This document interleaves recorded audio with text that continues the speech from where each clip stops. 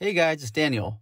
The following is a quote from Kurt Cobain on making school. I previously did a video on the making of school. If you want to see that video, it's linked below. This is a separate quote I recently came across. Quote, We wrote school about Sub Pop. If we could have thrown in Soundgarden's name, we would have. It was a joke at first, and then it turned out to be a really good song. Antique craftsmanship, something that is built well to last, something solid. Values that my grandparents had. Pretty much the opposite of the way things are now. It's the same thing with music sincerity, craftsmanship. If you do a job, you should do it well. That's just good business sense. Same thing my grandfather used to say to me when I was a kid. Our songs are about changing yourself, about frustration. School is just about some surreal idea I had about being in school and being in social cliques all the time.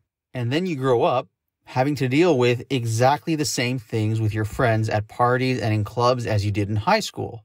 It's exactly the same.